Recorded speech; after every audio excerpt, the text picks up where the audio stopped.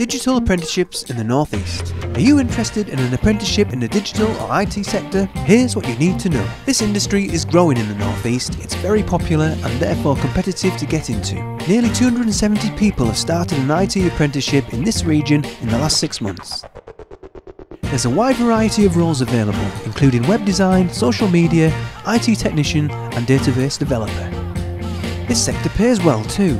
Qualified digital or IT worker can earn up to £38,000 a year.